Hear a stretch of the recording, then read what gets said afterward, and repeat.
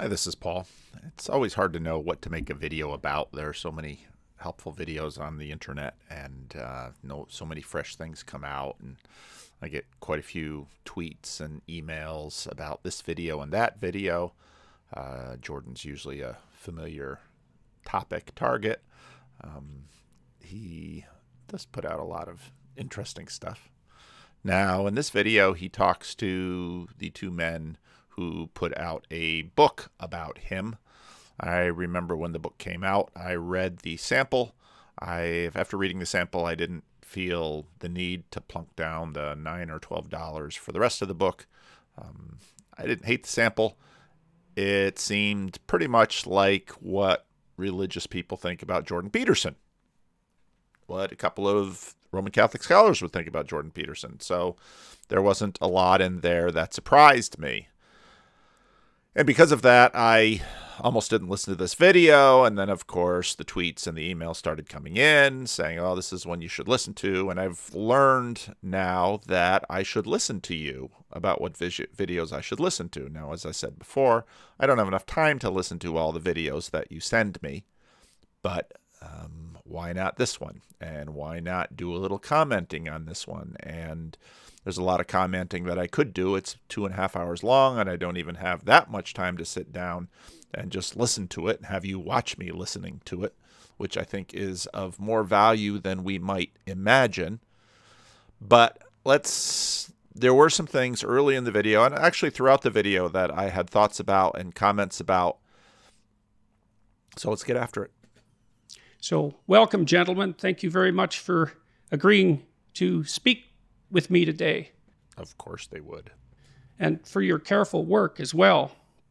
So, I guess I'd like to start by asking you, as I mentioned in the intro, I never had really envisioned being included in a book like the one that you just wrote. I, I, I don't know. I find that a little hard to believe. I, am not saying he's lying. It's just I, Peterson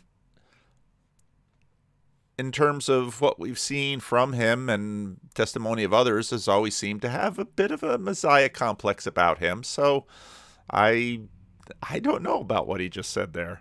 And I have noted that a variety of religious thinkers have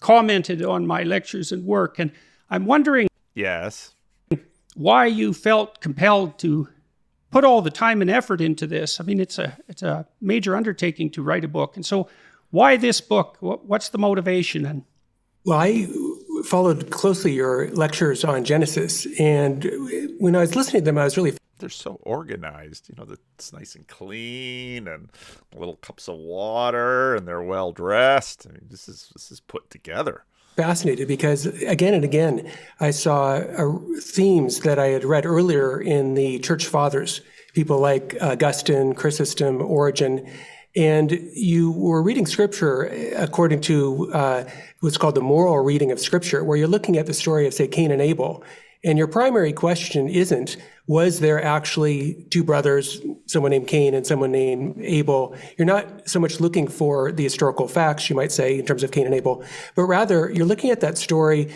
in terms of what universal lessons the story has for us today. Now, right away, when he said that, I thought, I had a whole bunch of thoughts, part of which is that, again, because of the way modernity sort of came about and the skepticism with respect to a lot about the Bible that happened in the 19th century,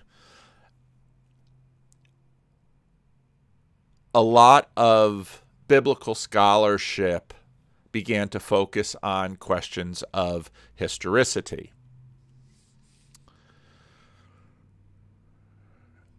It's easy to go down that to it's easy to deal with that fork.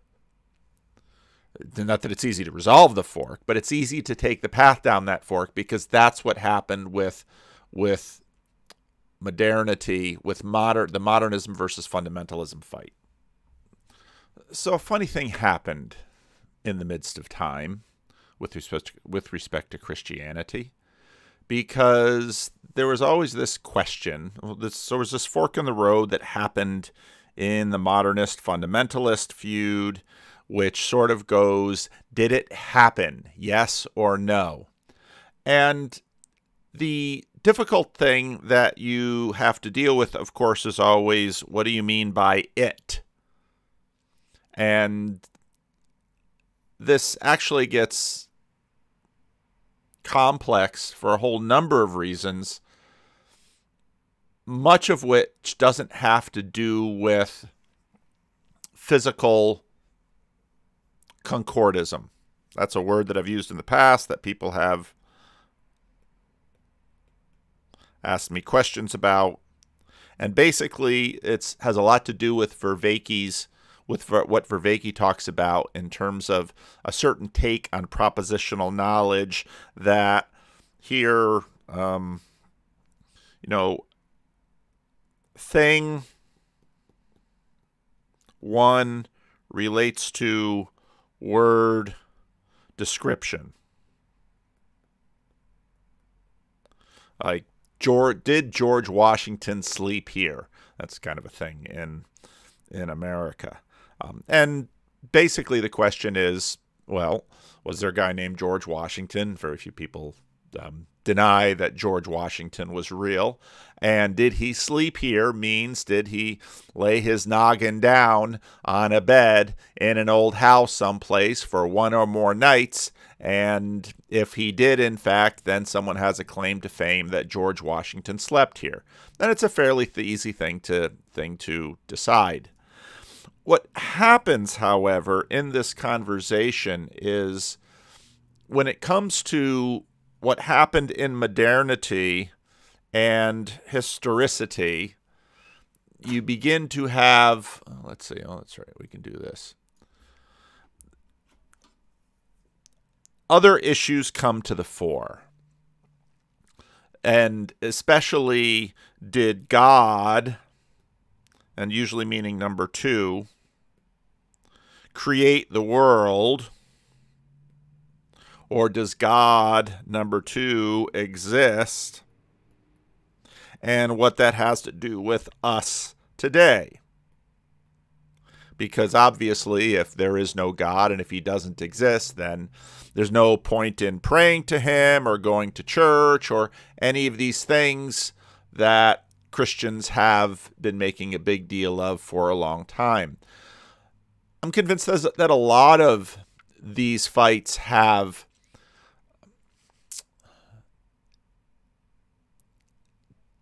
tyranny, anxiety, skepticism behind them. Another video that I was thinking about doing some more work on, and maybe will still, was another excellent conversation between Peterson and Lawrence Krauss. And that's on Krauss's channel. And so much of what stalks these conversations are well, if there isn't a God, then I don't have to worry about there being a God. This is something that um, someone I haven't mentioned for a while, Nagel, the philosopher, has mentioned. Alvin Plantinga cites him and quotes him in that, and I've read those quotes in a variety of videos two, three years ago. That's something that uh, Eric Weinstein talks about in terms of, well, if there is a God, then you have to worry about what's on that God's mind. And again, all of that has to do with God number two in terms of the agent. And if you listen to this video between Peterson and these two individuals, God as agent is all over that because God as agent is deeply assumed, and that kind of talk is pervasive in Christianity in the late modern era because God number one sort of got substituted um, with nature and sort of displaced here so that God winds up being yet another thing in a world full of things. And we've treated that issue quite a bit in past videos. So I'll just mention it and not go any further with it. So. And that moral reading of Scripture is something that is very, very common in the Christian tradition of uh, biblical reading. And so I thought that was super interesting. And then I also thought it was interesting how Okay, and let's talk a little bit about that moral reading of Scripture because in my experience, most people, regular people, who sit down to read the Bible have that moral reading of Scripture at the forefront of their minds. And they've been trained by the modernist fundamentalist fight to put this other reading of Scripture ahead of it. Did it happen or didn't it happen? Because if it didn't happen, then it's just fiction. And Jordan will talk about that a little bit here when he talks about the new atheists. And Peterson says that's that's sort of a dismissal of the importance of it. So, you know, even though it's all sort of dressed up with fancy words here, most people, in my experience as a pastor, who sit down with the Bible, read it for inspiration, comfort, or guidance. And the questions of history bear on the questions of plausibility really more than historicity because if there is this skepticism that, well, none of that really happened. It's all made up stories. And then we're sort of in the land of Dunbar's, of Dumbo's feather and Grabthar's hammer. And that's been the tack that those who have come to Christians and say, First of all, I'm sick of your tyranny, so stop telling me what I can and can't do, and don't vote according to your convictions. And by the way, I don't believe it anyway because your God isn't coming to save you, because it never really happened. And so you're just playing with words, and but then if you were to pause and say, okay, so is that really an upgrade? So, okay, I'm going to give up my idea that my God cares or my God is coming to save me or any of those ideas. So, what really am I left with?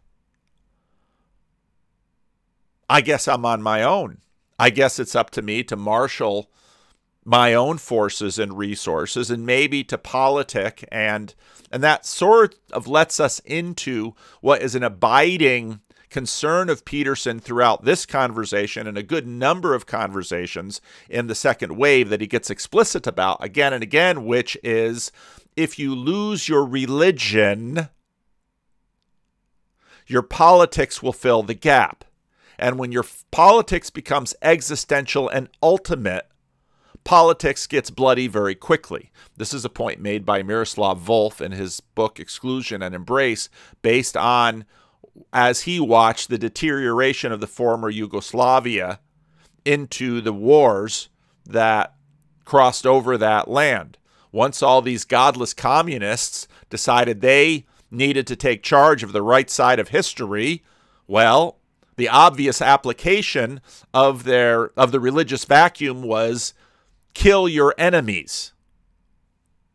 And so this anxiety is something that Peterson is very anxious about. And so, in that way, that's really what's been motivating a lot of his concern about religion. And he wants to not see the church go away and religions go away and any of this stuff happen because he sees it has a role in the political sphere. And despite the time he's taking to talk to Bishop Barron and Jonathan Pageau and, and these two scholars, his concern doesn't motivate him to bother to actually do much of this himself. Now, he, we might say that if Peterson would start going to church and then he would have less evangelistic impact, well, okay. But at the same time, his lack of participation in this practice and in these institutions that he in these videos is saying so crucial also signals to his followers what is and is not important. So there's that. You were bringing to bear all kinds of other resources when looking at these stories. So you would bring in evolutionary um, psychology, you'd bring in Russian novels, you'd bring in all these things that uh, would seem to be foreign to the biblical text. But in a way, that too was something that was very traditional. In other words, if you look at people like Augustine, he'll say that all truth is from God. And so bringing in any truth from any field is perfectly legitimate in his view in terms of trying to understand scripture because he thinks that God is the ultimate author of two books the book of Revelation, scripture, but also the book of creation. So everything in and this is this is just pretty much standard standard theology that almost all of your Protestant, um, almost all of your churches will embrace. Creation can help inform our understanding of Scripture, and Scripture can help inform understanding of creation. So these lectures, I really enjoyed them, and it seemed to me that what you were doing in a certain way was uh, reinventing, representing again in a new and fresh way the insights that were found in these older thinkers. And the but that doesn't answer the question of why Peterson was so popular and you know myself and these guys and you know why in some ways other things aren't if you want to see what is popular go on youtube and you can find popular preachers who in fact major in the moralistic interpretation of the bible and um, you might not in, you might you may or may not appreciate the uh, moralisms that they are finding in the text. This is an old, old, lengthy conversation within the church, and those of us who um, interpret and present um, and teach the Bible as a vocation. The fact that so many young people, especially young people who call themselves atheists or agnostics or religious. The fact that so many of these people were fascinated by your lectures and drawn to them. And as you know, so many comments in on YouTube would say things like, I thought the Bible was a kind of stupid old collection of naive stories, uh, totally meaningless for contemporary life. But after hearing your lectures on Genesis, now I see how these stories have perennial and are extremely important and insightful for. And he's basically saying exactly the same thing I said, and he was attracted to what was going on them on them for exactly the same reasons I was navigating life. And so, you know, for me, what I wanted to do in the book is both bring out these resonances with these earlier figures, but also to try to show how these earlier figures actually, in my view, develop and enhance some of your own insights and move them further down the road, as it were.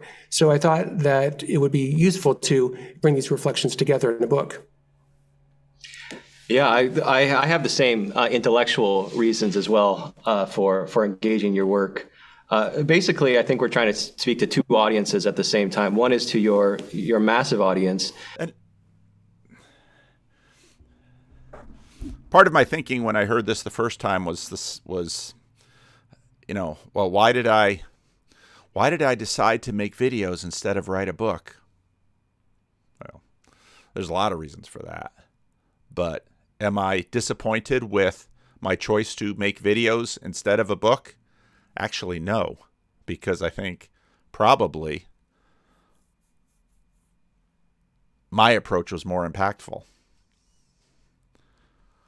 I don't know how many copies this book sold. I don't know the impact of one book. Now, I'm sure writing the book was a tremendous exercise for these two individuals, but in the in the videos where I tell the story behind this channel, at one point I basically came to a decision I had to ask myself, do I actually further the cause more by making videos the way I am? Or if I sat down and wrote a book. Part of the issue is that, well, I I had interest from CRC imprints before for me to write, but um, my impression was that if I would write a book, my mother would buy a copy, and some nice people at my church would buy a copy. I don't know if they'd read it or not, but um, yeah, I think actually the medium I chose is more effective, at least it has been in terms of, I think, gaining an audience and more important than an audience because I don't actually think an audience is that valuable. It's building a community because getting having your say in a book is one thing. Being able to launch conversations around what's in the book and have that scale down to people having an opportunity to talk amongst themselves as it at it. So the book doesn't have a comment section. The book doesn't start a Discord. So I, I'm I'm still quite happy with my choice. Uh, to speak to uh, for for engaging your work, Uh, basically, I think we're trying to speak to two audiences at the same time. One is to your your massive audience, uh, to speak to them through your work that the ideas that you've been engaging with uh, such verve and such power and such clarity uh, not only resonate with the biblical uh, the, context, but in fact, this is where, fr- from our point of view, they find their fullest expression. Uh, and so, to that audience, we want to see look a, a little bit deeper, look a little bit broader. Um, we're also speaking, though, to to Christian audiences as well to see. Look at the work that Jordan Peterson is doing. Perhaps he doesn't see it this way, but he's a serious theologian and he's opening pathways and opening and again my motivation for my channel is pretty much exactly what these two individuals motivations were for for their book modes of communication uh, that can help us more clearly communicate some of these uh, biblical truths as well. I also have a, a personal reason for it. I, I began watching you. Uh, actually, I was uh, Chris introduced me to your work, and I began watching your work online. Um, everything you put out to watch. And what I found so fascinating is from from my point of view, you you exhibit a lot of the, the, the Christian virtue of, of courage. And people were attracted to that. They were attracted to hearing. It's interesting how he said the Christian virtue of courage because I I think Christian boldness is one of the aspects of the disciples that gets noted in the book of Acts, um, them having been with Jesus. But um, courage, courage is not just a Christian virtue. Truths, including very hard truths, and I thought I wanted I want to dig deeper to see what what this phenomena, what's been called the Jordan Peterson phenomena, really is. Yeah, that it. This is a strange thing for me. There's the the the popularity of those biblical lectures. I mean, it came as a shock. You know, um, I joked with some people when I first rented the theater um, in Toronto to put the lectures on. I thought, I said, if I had gone to a bank for a loan and told them that my business plan was to do 15 two hour lectures on, on Genesis, mostly to young men, and that I was going to charge them to come to a theater and sit through that, um, they would have laughed me out of there because it's such a preposterous proposition and yet it seemed to work, and the lectures have been quite popular. And it wound up being a lot more effective than as uh, the the guy who hired him for the job said, buying a buying an empty church building and holding forth each Sunday. It it worked out well. They're online, and they've they seem to have attracted attention from religious and non-religious people, but basically in the religious vein, right? Even the atheists who've been watching are pulled in by the by, by what is essentially the religious content. I guess part of the question is, you know, exactly what is that religious content? That's something we could we could talk about in depth. I mean, and, and I think this is part of the reason he's effective because part of what he can do sort of outside the church is have the freedom to ask some questions that don't often get asked in the church. The fact that my thinking is influenced by these church fathers, the church fathers and other historical figures that you discuss. I guess I get that secondhand in some sense, right? And probably primarily through Jung, Carl Jung. So he was unbelievable. That that I found that to be a very interesting comment. Of course, Jung was the son of a reformed, um, a Swiss reformed minister. Um, Jung, of course, had his own very interesting narrative about the history and development of religion. Unbelievably educated, and I saturated myself in his work. And he was, of course, incredibly influenced by the thinkers that you talk about in the book.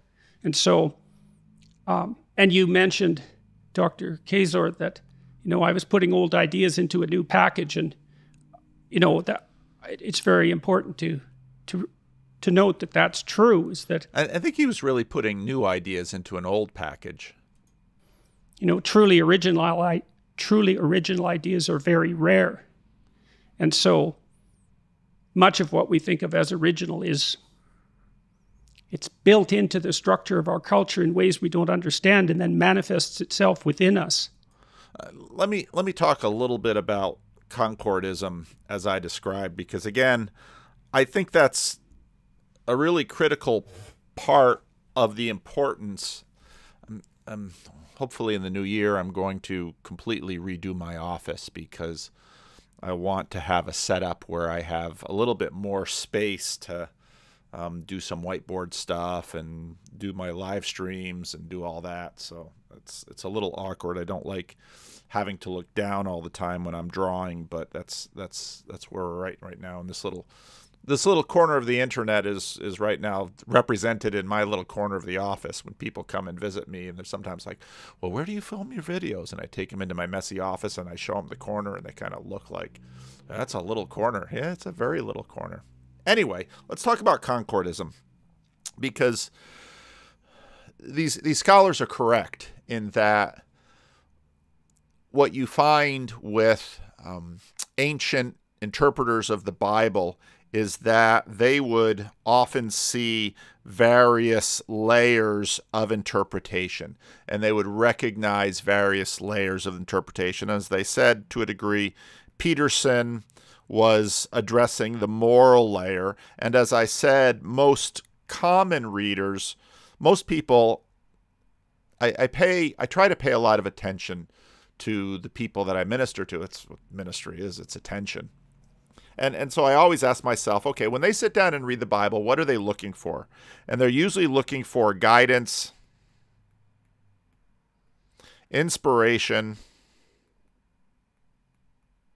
What was the first, what was the third thing I said? Looking for guidance, they're looking for inspiration.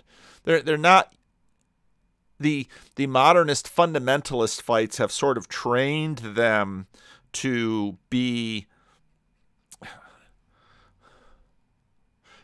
it's trained both sides because people sort of on more of the fundamentalist side of it are trained to be defensive about historicity and the modernists are trained to be skeptical about historicity. But seldom do either side pause and ask themselves what really is important about historicity. Some of you might have caught in my rough draft for sunday last week um, this letter from C.S. Lewis to, oh, why can't I think of his name? Um, it's, it's, his first friend, um, Arthur Greeves.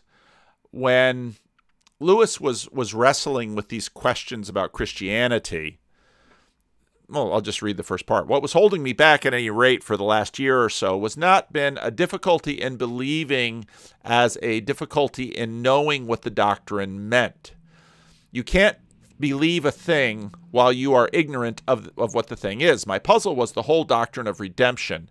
In what sense the life and death of Christ saved or opened salvation to the world? I could see how miraculous salvation might be necessary. One could see in ordinary experience how sin, for example, a drunkard. So Lewis's older brother Warnie was an alcoholic, and Warnie would go on benders, as they say, and be incapacitated by his alcoholism for weeks or months at a time. And Lewis, both of these guys were bachelors, um, Lewis would then basically have to care for Warnie. And so Lewis could have an understanding about how, let's say, the case of an alcoholic could get a man in such a point that he was bound to reach hell complete degradation and misery. Now, if you go to the end of this video conversation between Peterson and these two scholars, the part where he tears up is where he talks about hell. And Peterson is talking about hell in exactly the same way that Lewis is talking about hell right here in this passage. But the thing I wanted to point to is that Lewis is making the point, which I have heard many skeptics and seekers and people struggling to believe make. Even if I buy that Jesus died on a cross, and even if I buy he physically arose from the dead, what difference does that make for me today? In other words, this question about historicity is really not quite the thing that we imagine it should be. In many ways, it's a product of the fundamentalist modernist fight. Now, I'm not saying that to redo the modernist bias of skepticism or to antagonize the fundamentalist bias about historicity as we understand it, but merely to point out that while this fight is, fight is going on, fairly few people pause and ask, what is historicity for? And, and again, the church fathers and, and many others through history, whether they did it intentionally or not, tended to understand that texts that texts serve on various levels pretty much automatically. So, concordism. What concordism talks about is a concord, an agreement between two things. And what has been obsessing much of Christianity for the last hundred plus years has been the question of how does this text concord with our life today? And because the modernists were skeptical about history, the fundamentalists doubled down on it.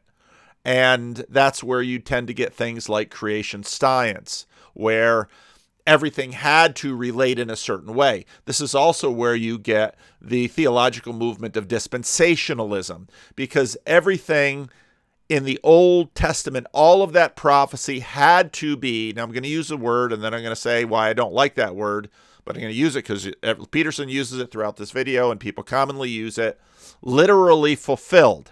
And I think what there really should say is physically fulfilled. You have all these visions of Israel after the exile and the exaltation of Jerusalem and, and all of these visions. And dispensationalism came along in the modernist period as a response to modernism, um, theological modernism, and said, no, we're going to double down on all of this physicalist concordism.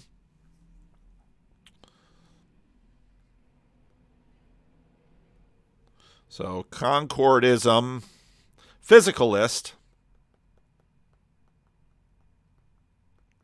And so then you get creation science, where you're always looking for physicalist concordism between the text and what really happened. Now, there are huge issues with this that are completely apart from questions about evolution, part of it has to do with the way narrative and attention and observation work. Because with texts, as with as few texts as we have, with very little history around them, sort of like when people attempt to create a movie about the Bible, you have to fill things in with something. And so You'll see this all the time with Christian movies. Even the movies that try to, we're just going to have Jesus say what we find in the Gospel of Matthew or in the Gospel of John. You can sort of push away the whole synoptic problem issue to the side. And, well, we're going to describe what happened. But even when you have you just look at the George Floyd trial, the Rittenhouse trial, look at almost any event that is that people deem as being important the question of what really happened. A number of years ago, there was the Elian Gonzalez situation where there's a photograph of a, a government a government official taking Elian Gonzalez away from the arms of his father. And as many people have noted, um, a picture may be worth a thousand word, words, but pictures can lie as much as anything. And that doesn't mean that the picture was necessarily, necessarily doctored, but it talks about the fact that there's a whole range of things that go into understanding that go far beyond physical concordism.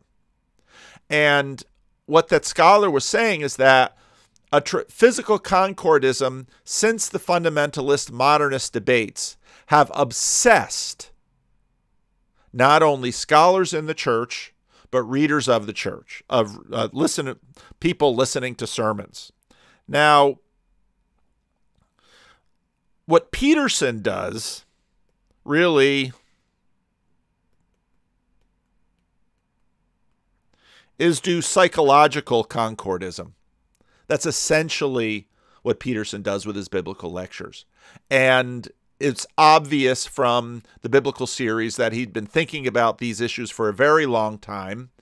And he says in the lectures again and again and again, I'm talking about these psychologically, and especially with Jung's influence, uh, is a totally different thing. And it worked. Peterson is a, a very convincing preacher. And what I think this really did for for many people was basically reestablish credibility. And credibility is what a lot of this really is about. The physicalist concordist arguments are, in some ways, for many people, beside the point. Because again, what are people looking for? People are looking for inspiration. And the concordism that you want with respect to inspiration is can the intervening God of Israel rescue me? They're looking for comfort. There's the third one, which is similar to that. Does God care about me? and they're looking for moral guidance.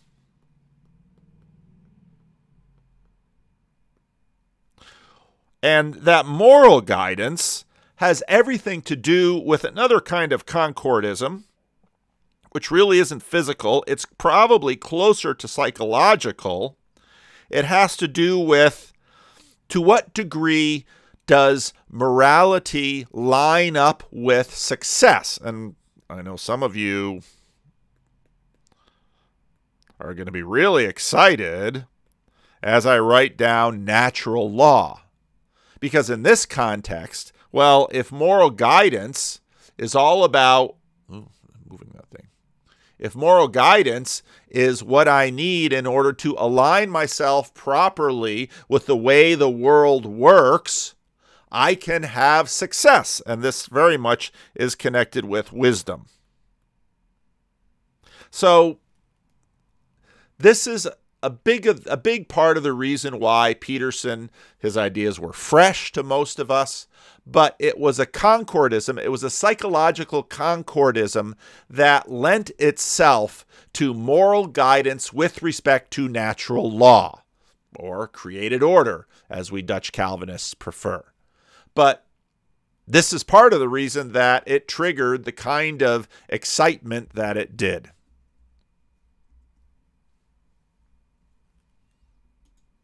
And that's certainly the case with these, these biblical stories. And I, I wanted to make another comment too about truth. You know, Dr. Kaczor, you mentioned that I engage in a moral reading of Scripture, say, rather than a literalist reading. And maybe we should have a talk about that because because now he's going to talk basically about physical concordism, which when we use this word literal, which is really a bad word for it because literal is close to literary, it's physical concordism. This has been the obsession, and so we're going to talk about this. Because it isn't easy to read a book like the Bible literally because it's full of, of literal contradictions. And it whatever it is, especially the really archaic stories in, in Genesis, whatever it is, it's not it's not history the way we think of history. And so that and and he's exactly right. And the point that he's making here was essentially the point that was made to me when I was at my own conservative reformed seminary, Calvin Seminary, when I remember the about the first day we had our synoptics class, David Holwerda, who was my one of my New Testament professors, stood up and said, "Now there are certain ways to approach the um, synoptic question, which is that, well, there's all these questions that arise out of these different testimonies of events in history, and there are gaps between them.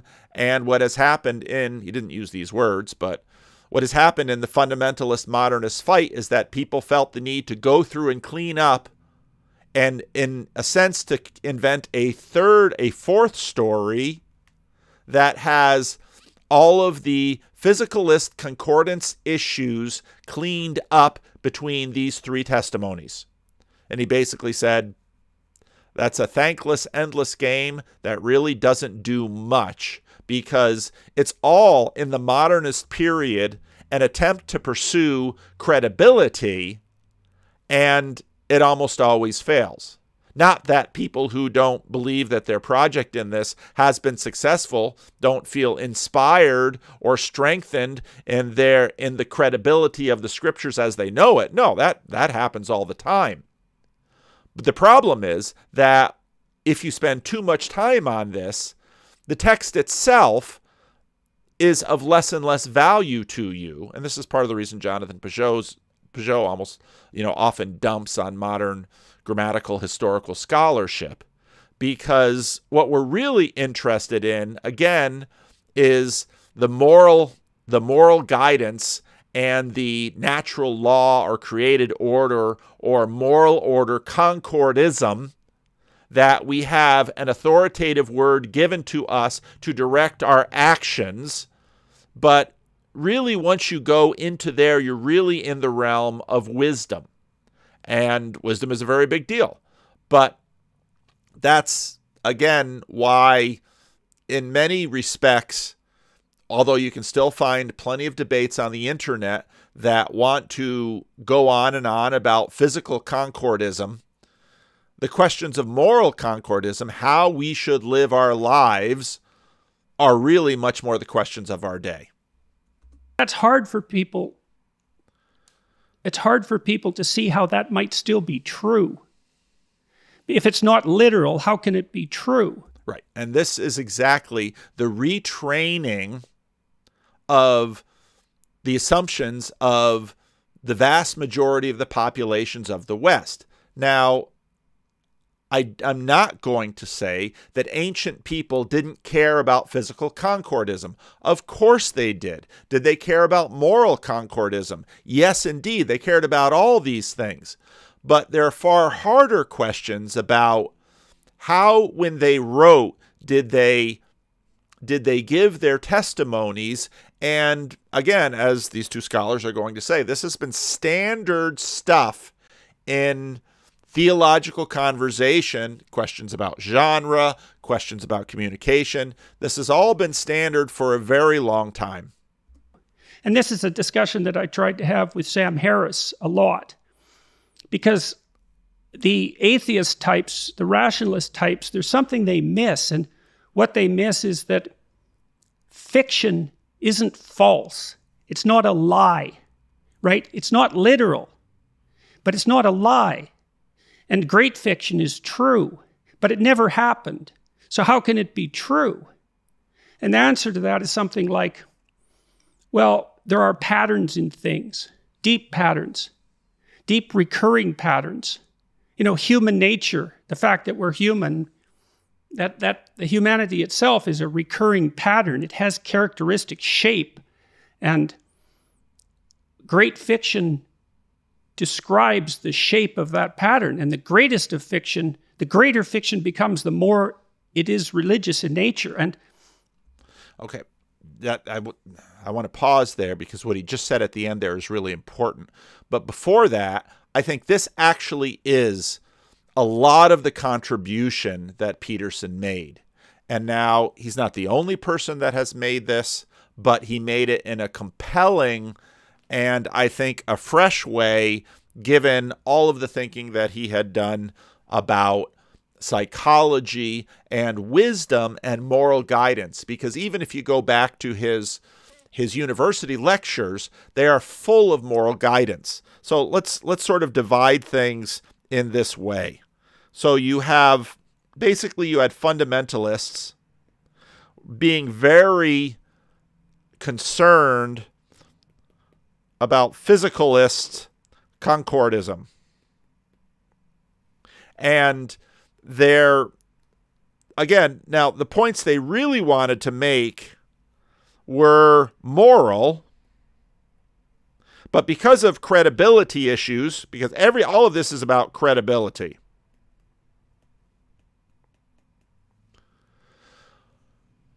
They wanted a moral issues. They found their credibility by virtue of historicity and physical concordism. And that's not a bad thing because, of course, I mean, you hear me make these arguments a lot with respect to the resurrection of Jesus Christ. I think that physical concordism with respect to the testimony of the apostles about the resurrection of Jesus Christ is absolutely foundational for the Christian faith and how I live my life morally. I can't say it any clearer than that. The modernists tended to say things like, this is a myth, and what they meant by myth is not, of course, there's there's one sense in which a myth is a story you can live within, and there's another sense of myth which is just a very large story that may or may not have any relationship to physical concordism. And there's all sorts of questions about the Old Testament. Um, the historicity of Moses, the historicity of the Sinai event, all of these historicity questions. And what tended to happen was that once the credibility of these questions came under fire, it left open a space for a lot more justification of moral retooling. And the fundamentalists were watching this. And for that reason, sort of the way that this polari- this polarization and this feud happened was through this entire dynamic. Now Peterson comes in the middle and he sort of has a middle position. Because on one hand, I think he quite wisely says to the fundamentalists, of whom, you know, some are his fans, I'm going to set historical questions to the side. I'm not going to pass judgment on them, which what happened with the modernists is that they were very skeptical about them. And part of your bona fides in the modernist side of things was declaring your skepticism. Because anybody who didn't declare their skepticism about it was a rube. Okay? So there you had class pressure. And of course, and we see the echoes of this that continues in our politics today. If you go back and watch Donald Trump, I, I don't remember a lot of his shows from The Apprentice that reality show that he did on TV. I remember when one individual who was a white guy basically made a condescending word. I don't remember if it was white trash or what it was, but I remember Donald Trump stopping him there because, and Donald Trump was upset and almost fired him on the spot. You're fired. Why? And Donald Trump basically made a little moral speech where I can't stand that kind of condescension. Now, of course, Donald Trump um, would use all sorts of other types of condescension, but part of what Donald Trump understood, which was politically enormously shrewd, is that you can find a willing audience among people who have been oppressed. Does that sound wokish? There are many kinds of oppression of all kinds of people, of various colors and cultures and socioeconomic status. Okay? And there's one thing that oppressed people really have and can milk sometimes it's grievance. And so, what happened in the modernist fundamentalist fight is that the modernists, well, we're all skeptical. We're, and the more skeptical of our tribe, the more status you will have. Well, guess what happened on the other side? The fundamentalists said, no, we're doubling down. We're doubling down on our physical concordism. And so the more literal it happened, the more status we have on our side. the victim of this fight is the Bible. Because what neither side, while both sides are sort of playing status games, neither side are basically saying, well, maybe we should try and let the Bible interpret itself and try and try to figure out how ancients approach this text. Now, now that's an almost that's a very difficult thing to do. Now, a little bit later, one of these scholars will talk about authorial intent. That's another difficulty because it's very clear, in all fairness to my Jewish friends, um, New Testament writers don't necessarily give a fig about authorial intent. Authorial intent was another issue that comes up in the question about interpretation of text. The further they go down the road to try to nail it down to something. So, physical concordism is one way to sort of substantiate a text. As I said, psychological concordism, which is what Peterson did, is another way to afford credibility of the text. But what Peterson had to do to make his psychological credibility work was that he basically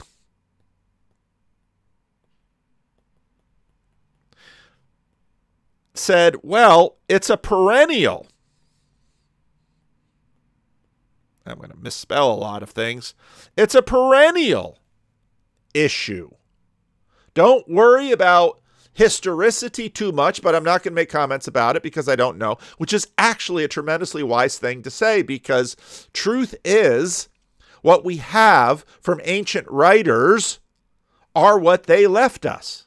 But how they thought and how they articulate, there are many things in the Bible which, if you become a really picky physical concordist, will give you problems. The synoptics are just an element of that. And they're in some ways the most stark element of it because it's very clear that the writers of the synoptics wanted to emphasize eyewitness testimony. But anybody who deals in eyewitness testimony knows you're going to have multiple witnesses give different eyewitness testimonies, and there are going to be niggling little conflicts within those testimonies.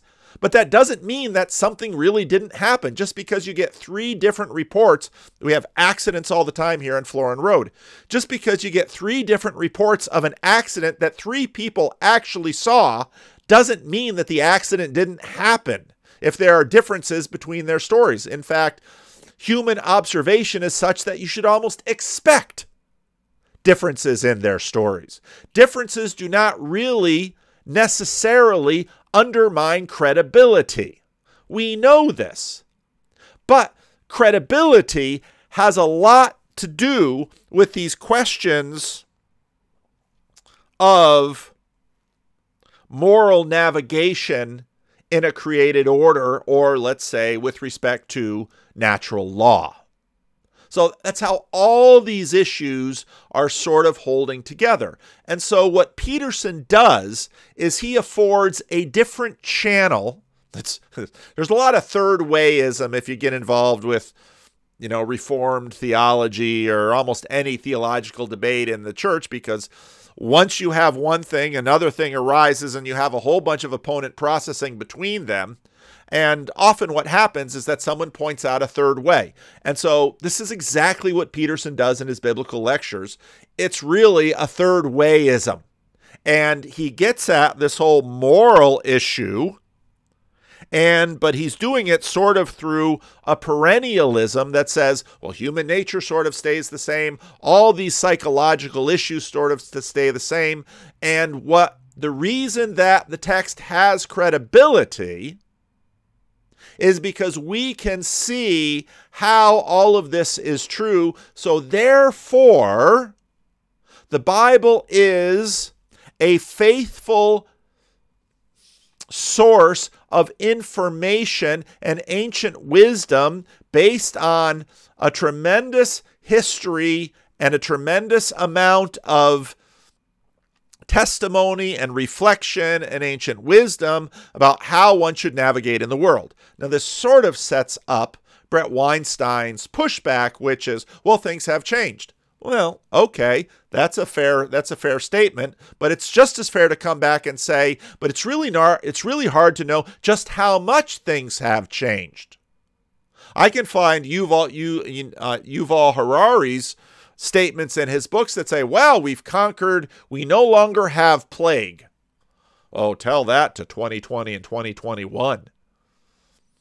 Yeah, plenty of plague around. Well, not plague, but yeah, it's it's functioning like a plague. So there's a lot going on here, but this is sort of the heart of it. Now let's get back to what Peterson was saying here. That's not even a fiction describes the shape of that pattern and the See, it's a perennialism. It's the shape of the pattern. And this is where he and Pageau are really quite next to each other. greatest of fiction, the greater fiction becomes the more it is religious in nature and Okay. The more it is religious in nature. Now, if you go to his conversation with Lawrence Krauss, a lot of what's underneath that little and it's a it's a that's a great conversation. Uh, you know, there's there's been so many of them out there that are they're very that are very worthy, very much worthy of my time devoted to doing a little bit of commentary on it. If the modernists had their own issues, and these all these issues get get coded into us in terms of biases and reactions. So modernists are allergic to physical concordism, and fundamentalists get allergic to talk about myth. Krauss is allergic to small uh, to religion s or how secularists what religion came to mean in the secular world which was the certain body of practices, beliefs that were that you could say, oh, those are religious over there, like going to church, saying prayers, lighting candles, lighting candles in church, lighting candles at home would be secular. So so you divided up the world between the secular and the religious things. And then people over in the secular thought would say, I, this is I'm religion free. And with my Dutch Calvinism and our long history of presuppositionalism, we would sort of look at that and say, well, that's a load of crap. You're not religion free. Because religion has, and this is again where Peterson is, you know, I when I began to listen to him, very much in alignment with a lot of the a lot of my own tradition in Dutch Calvinism. Right away, I had people talking about Cornelius Van Til, presuppositionalism, some of this that came about in the with our Presbyterian cousins.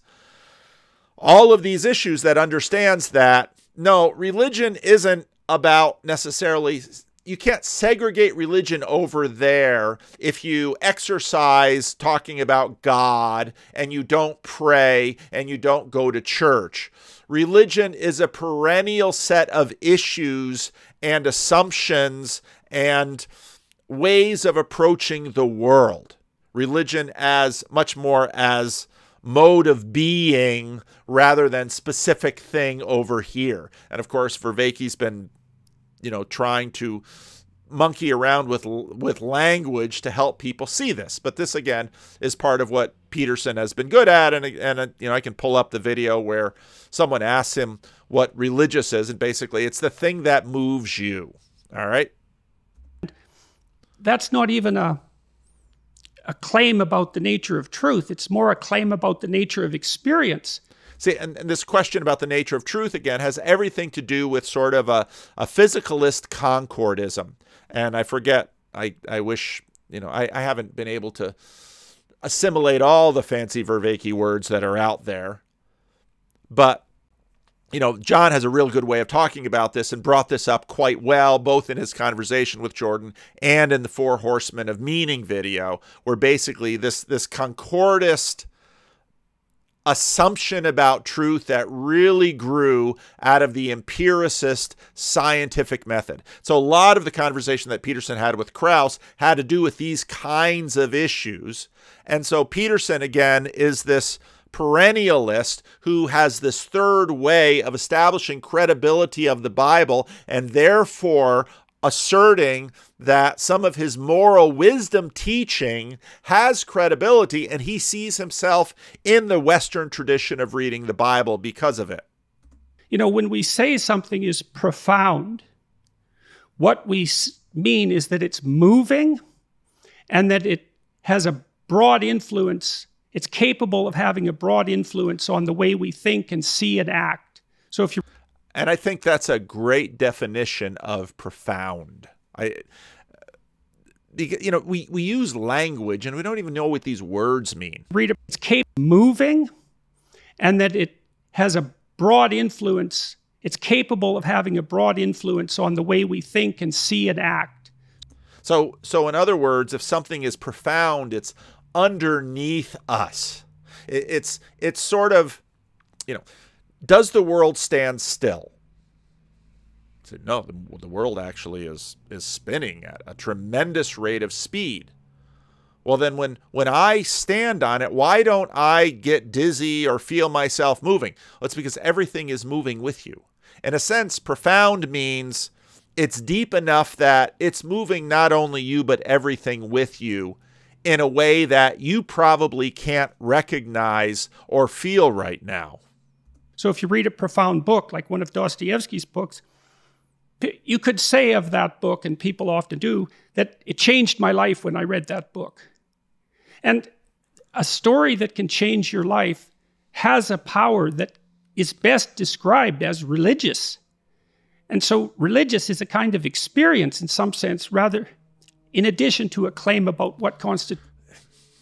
It's kind of an experience. It's re- religious is so many things. To its Truth.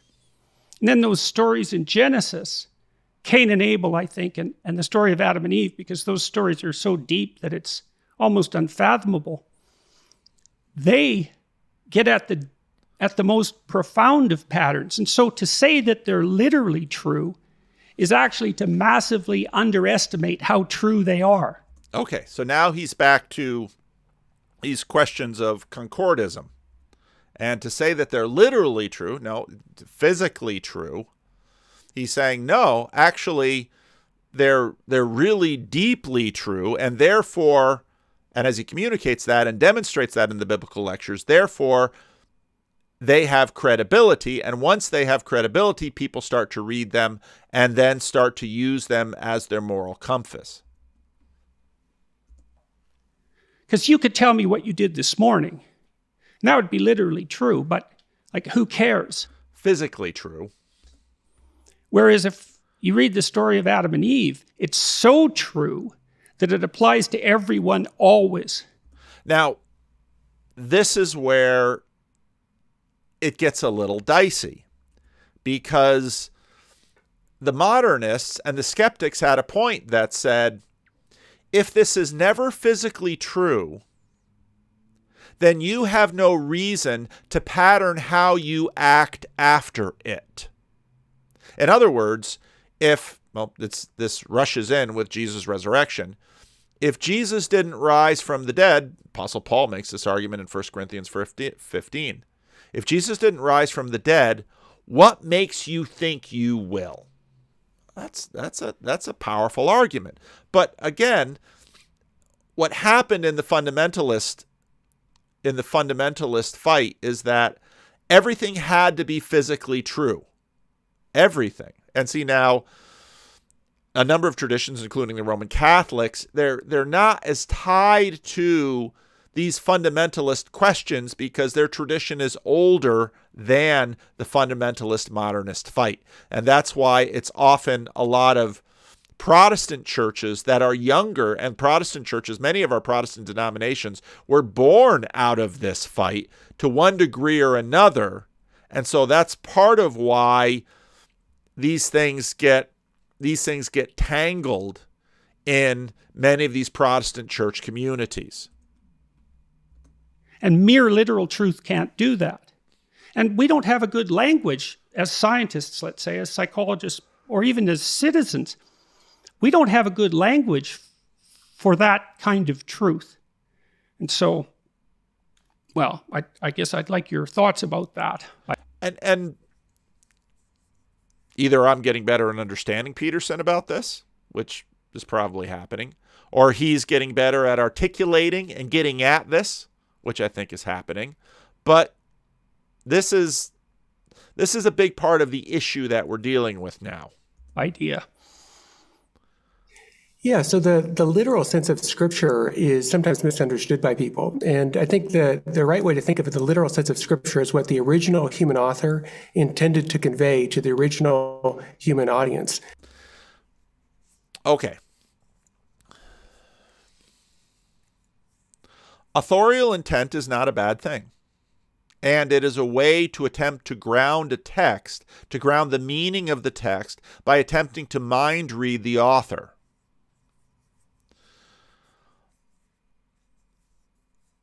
most of the Old Test most of the Old Testament in the the text that we have is anonymous.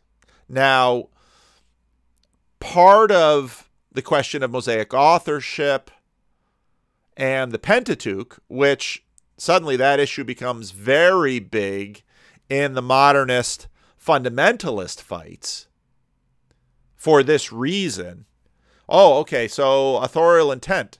And, and then and then what, what sometimes tends to happen is you get these is you get these arguments about well, how did the text come to be?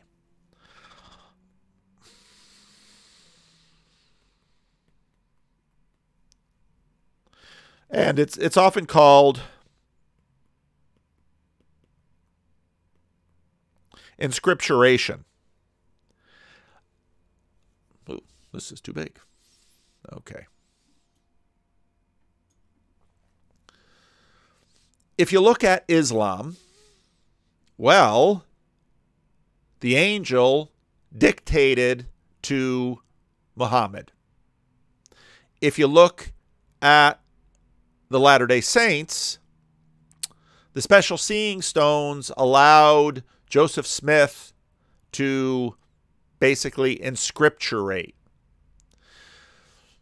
Christianity, at least my tradition, talks rather about organic inspiration.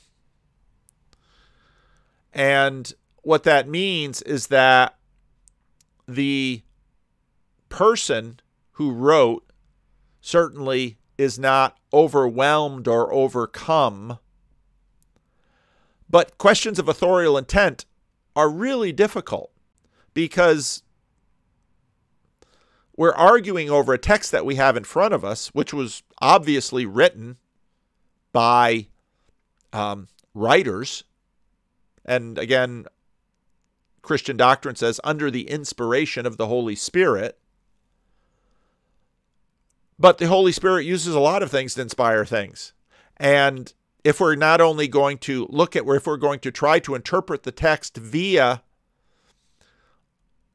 our attempt to mind read the author, it doesn't always help you so much. Again, I, am not going to, I'm not going to deny the importance of authorial intent, but as I mentioned before, it's quite clear from many New Testament citations of the Old Testament the New Testament authors believed that Old Testament writers were saying more than they could know because the Holy Spirit was working through them, and often that would go under the word prophecy. So, authorial intent has its place, but it isn't going to get you out of, every, out of everything. And so, if we're looking at Genesis, I think that we need to put Genesis back in its context. If you read Genesis as if it is a contemporary uh, textbook on science. I think what you're doing is wrenching it out of its original context, and therefore you're bound to misread it.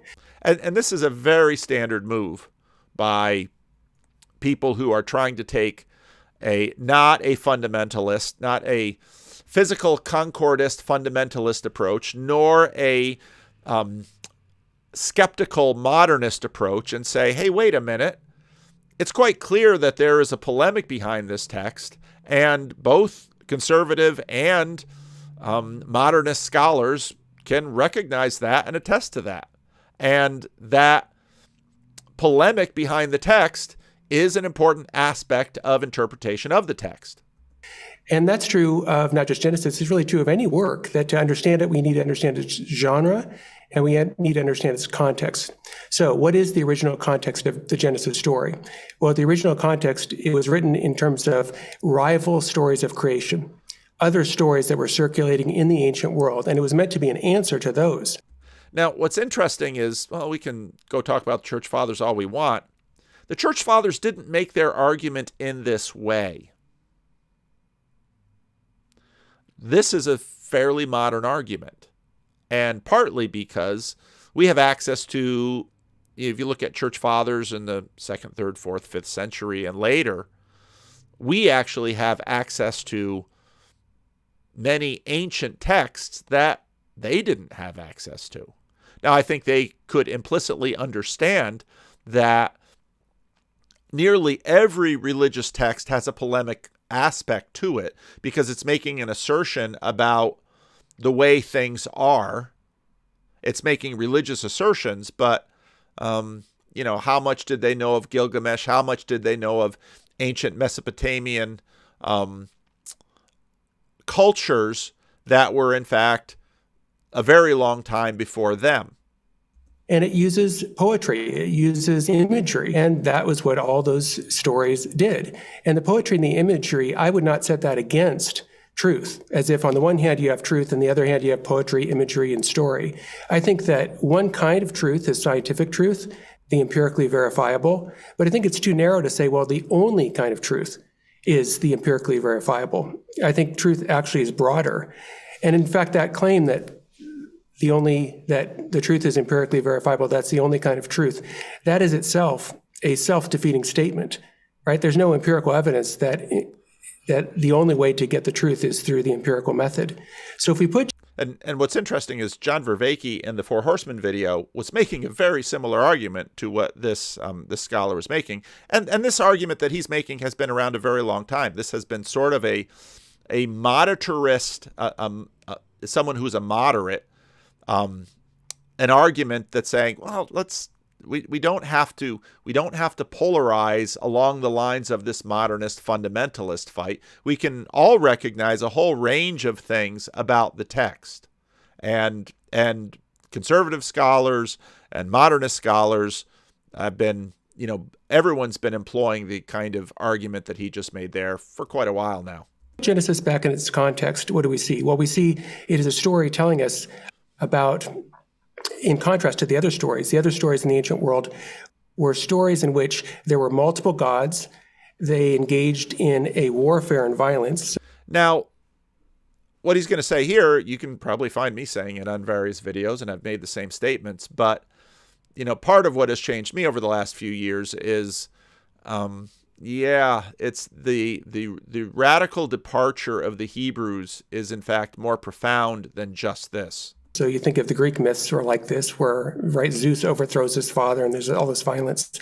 And Genesis is meant to answer um, these other ancient myths. And, it, and now I agree with him completely that Genesis is made to answer these other myths, but this is where I see a lot of the conversations that we've been doing in this little corner of the internet really begin to get beyond sort of these standard answers because there are always some loose ends of these answers that that sort of remained out there. And uh, yeah i think when it, when i hear answers like this to me these feel these feel like these are so 2010 it's saying things like there's only one god there's not multiple. Secondly that creation is not a matter of violence but that the creation is reasonable speech. And this was something that you talked about in your lecture, which really struck me because I obviously had read that story before, but I never really thought of it that, well, creation arrives, right? God says, let there be light, and there was light. And what is reasonable speech? Reasonable speech is orderly right? The difference between, you know, random sounds you make and reasonable speech is that there's a kind of order to it. So if creation arises from reasonable speech, and then creation itself is ordered. It's intelligible. It makes sense. And that gives rise centuries and centuries later, that belief that creation is orderly and makes sense gives rise centuries later to science. Mm-hmm. But to read Genesis as if it's failed science makes about as much sense as to read Genesis as if it's, you know, for or against iPhones.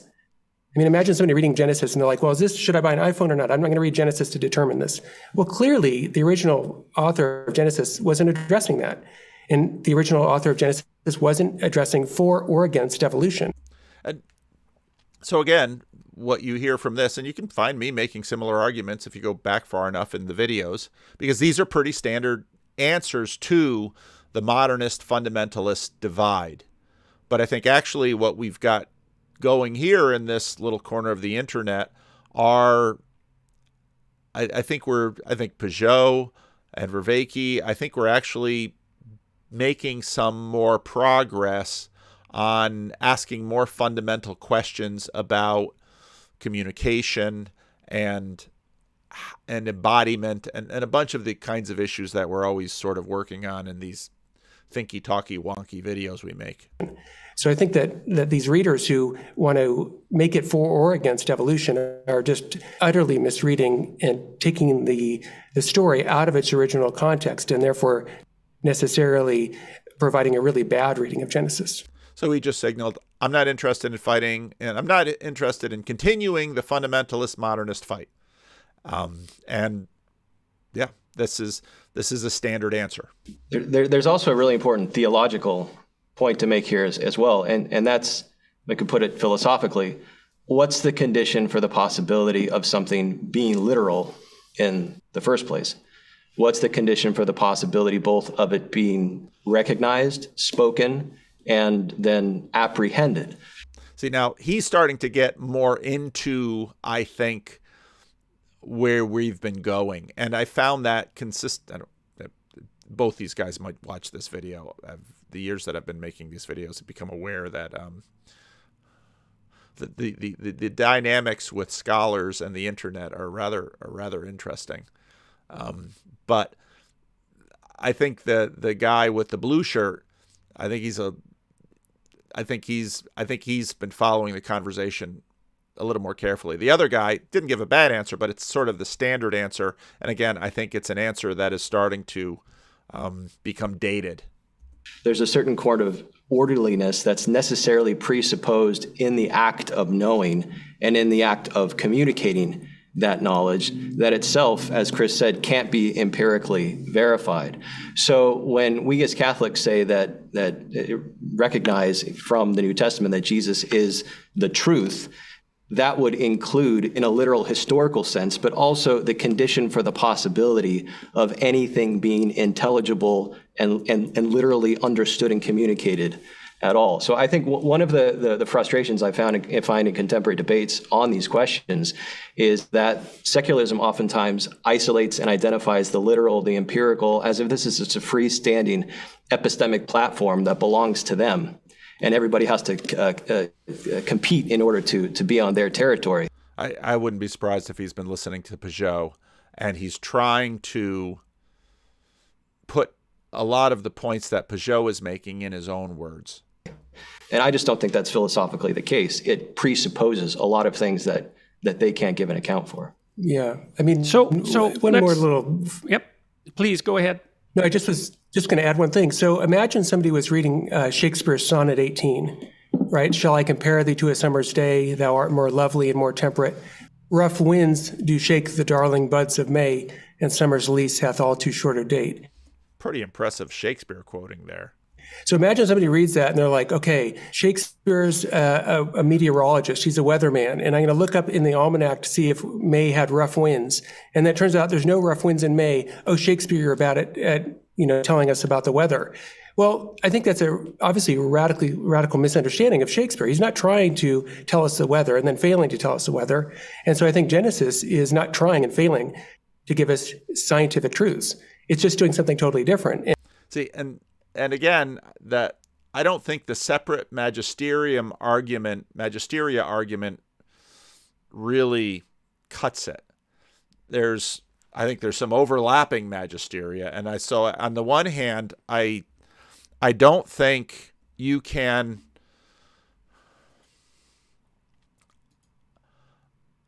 I don't think you can really. Oh shucks. There we go learning how to use this cool tool. I don't think I don't think you can actually get rid of any of the sides of this. Um, this one up. I don't I don't think you can really get away from any of the any of the sides of this argument because there there is in fact some truth over here. And there is in fact some truth over here. And how these play into our contemporary sensibilities about credibility are important and how the credibility let's see how do I make this how do I make this fatter all right the credibility, well, it didn't make it a lot fatter. Come on. Oh, use one of these. All right. How the credibility relates to the people's capacity to leverage that credibility as a way to make a morally courageous or challenging move is is really is really quite important. And that's part of the reason yes. I appreciated your lectures is that you highlighted the reality that the author of Genesis is trying not to is trying to communicate very important truths, but not truths that are in the uh, scientific um, discourse. They're true, but not scientific truths. The problem with the empirical approach, the problem with totalizing it is that the empirical right there, and and he has just named the problem with totalizing the empirical approach. And so he is getting he's looking to get beyond this modernist fundamentalist feud. Approach tends to be mostly descriptions of things and the way they interact and the way they can be manipulated. And and that's fine but doesn't tell you doesn't provide any real insight into how to live how to act how to take your next step how to how to produce a hierarchy of values and how to determine what's most important and what's least important. And all of that is also so difficult that we actually don't know how to do it completely explicitly, which is why we need poetry and drama and literature. We need that whole domain. So we could call that the literary domain. And then I think you could consider it this might be an empirical proposition is that the religious domain is at the base of the literary domain. And as literature gets deeper, it becomes more and more like religious writing. See, and I think Peterson is right here, and this is where he's so helpful because he notes that if we're actually going to address this logjam that we've been in for 150, 200 years or so, we have to go back and look at the definition of religion and have a better understanding of that. That it isn't something that Lawrence Krauss and and Sam Harris can just sort of segment over to the side. It's far more fundamental and as he's been trying to communicate and I think getting better at um, you can't just you can't just say no we're we're just gonna we're just gonna be we're just gonna be literalists and the Bible isn't uh, it doesn't really help. And so that by definition, in some sense, and I've swiped this in part, I would say, from Jung, is almost by definition that the sense of profound engagement that the most profound literature produces is what constitutes the religious. And that's a domain of experience. You know, when you're captivated in a movie theater, when you're captivated by a story, when you're taken outside yourself, none of that has anything to do with logical argumentation it's a whole different issue. And it, to me, it's tied very, very deeply to our ability to imitate and mimic. And so we're really good. And, and this is where I think Peterson is really at his strongest, where he he knows Jung and he says, now I'm going to take Jung and some of these large, you know, some of these epic mythos, and I'm going to try and take a lot of the newer science and fit that in. And that's that's I think when he gets when he gets compelling. Good at that, way better than any other animal. We mi- like language is mimicry. We use the same words, and so we're mimicking each other. And but I can't mimic every person separately. I have to extract out from each person some essence of being that's admirable And I do that person after person and I try to imitate that. Okay, now we're getting to wisdom generation. And then that core thing that's admirable that I imitate, that's, as far as I'm concerned, that's psychologically equivalent to Christ. Whatever else Christ is. And that move is Jung right there. Christ is, that's why he's sometimes described as the King of Kings. It's like if the king is the thing that's at the top of the hierarchy, and then you look at all hierarchies and you take the thing that's at the top. And that's sort of a symbolic appropriation of what, of course, was a standard.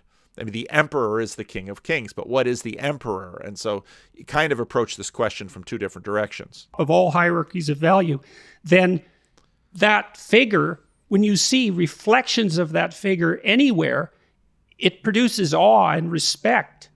And that's because that pattern constitutes the appropriate way to act, just as when you see the opposite of that pattern, which might be. And, and this is something that I went through in my adult Sunday school class. Let's see if I still have the whiteboard from that. Oh. When you look at, yeah, here it is. So when you look at Jesus as the King of Kings, and this is the big transition that messiahship for Jesus is different from messiahship for Romulus or even David or or the Maccabees. Messiahship for Jesus was fundamental and it's it's actually this reworking that happens in Christianity that transforms the world in the way that Tom Holland wrote about in his book Dominion in its most fundamental essence satanic or demonic. It's something that's ultimately evil. We, we have to. One of the things that I have on my to do list is taking a much better look at what we actually, if there's one thing I want to talk to James Lindsay about, because he keeps throwing out this word demonic, and apart from it simply being another word for evil, I think we have to have a much better resolution on what exactly are we talking about. And I think you know, I really need to meet read more Rene Girard because I think Girard was really getting at some important things with his treatment of the tools of the devil as opposed to the tools of Christ. That produces revulsion and terror and that's that's all instinctual. It's it's not in the domain of rationality precisely. It's way way deeper than that. And the the the the atheist and then there's another problem that the atheists have never come to terms with, I, I believe, and you guys tell me what you think of this, is that if, if what is rendered, if, if what is properly rendered unto God is rendered unto Caesar, then Caesar becomes inflated to God. And this, I love this point that he makes here. When that happens, all hell breaks loose. That's the genesis of totalitarianism. That's subservience to an idol. Now, this again, now his concern about the whole left in the culture. And again, James Lindsay recently did a, he has these monologue podcasts that he does. I wasn't even, I knew that he had started a podcast, but I really didn't know what he was using the podcast for until Cale Zeldin said, You got to listen to this one James Lindsay wants to talk theology.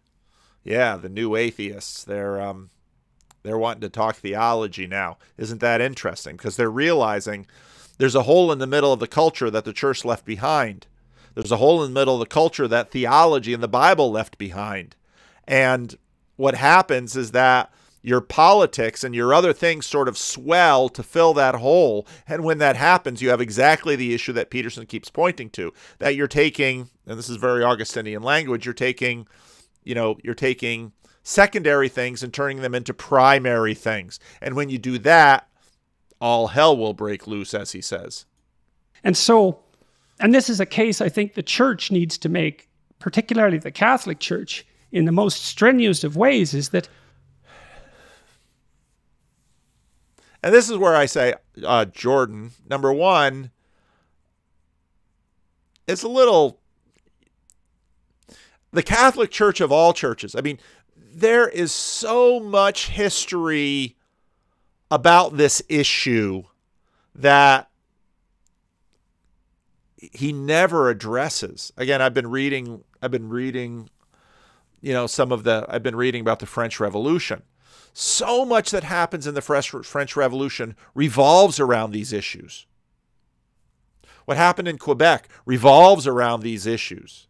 To have the Roman Catholic Church stand up and say, we deserve to be at the center of the culture, when well even just the history of the roman catholic church in america and and why there's a reason why protestantism why america was deeply protestant well has been deeply protestant really until the middle of the 20th century and the roman catholics have really come on strong but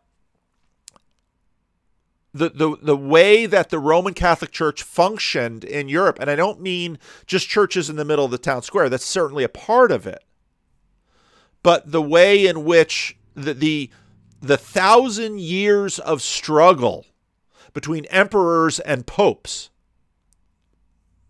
There's a ton of history here that, you know, just kind of Jordan saying, well, the church should do, especially the Roman Catholic Church. It's like, it's sort of like me saying, well, we got all these mentally ill, drunk people outside my door. Where are the psychologists? And, well, fair enough. You know, certainly psychologists and therapists should be on the front line of dealing with the the the mentally ill and the and the people with drug habits that are lining our streets but it's it, you know you, if you would point them in that direction they'd say whoa it, it isn't just a matter of throwing therapists at the homeless. Oh, that makes for an interesting image. There's a whole lot going on here. So I am unfortunately out of time. Uh, let's see, I'm 2437 into this. Will I return to it? I've I am doing a a video for a conference in Australia. I'm obviously not going to Australia now in the middle of COVID right now for that conference, but I'm doing a video for them. That's taking time this week. I've had a lot of other pastoral things that I've had to do this week. Uh, we have an extra holiday this week. Um, I'm starting to line up conversations for January. I've got a lot of requests for conversations. So, you know, I in an ideal world, I would sit down and I would I would make my way through the two hours and three minutes. And, and this video probably deserves it. There's some really important points in this video, but I, I wanted to I wanted to really get at. Oh, let me pull up the correct slide. I wanted to really get at this issue because Jordan continues to ask. Oh shucks, come on, stay there. Jordan continues to ask Let's put him right in his back place. Okay. Jordan continues to ask, well, why are my why were my biblical lectures so powerful? I think this is the reason. He was practicing a different concordism. The concordism in the modernist camp is sort of totally breaking down, and there's been other new religions, namely wokeism, that has, in many respects, you know, completely begun to colonize this whole this whole area of the church. my pen stopped. See, this is the problem when I start playing with these new toys, I get distracted. And the disconnect with the moral application and the disconnect with wisdom had basically left them vulnerable to ideological possession. And that ideological possession basically inflamed then their relationship with Jordan Peterson. For all of the, and this is for all of the difficulties with the fundamentalist position, with their ardent demand of physical concordism, I think there I think that has actually given fundamentalists a better mooring for enduring the changes of time.